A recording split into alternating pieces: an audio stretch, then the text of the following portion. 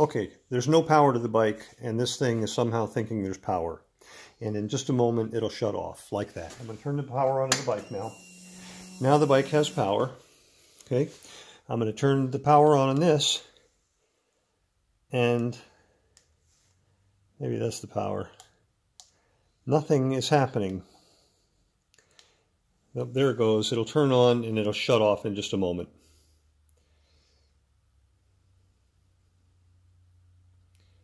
Okay, so I bought a new one.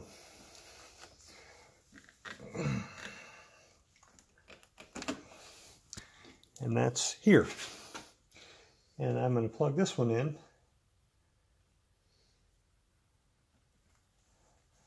And this one turns on immediately. And it tells me it needs an SD card. But I mean, it's working. So I'm going to plug this one into the bike and I'd like to send the other one back to you because it's got issues.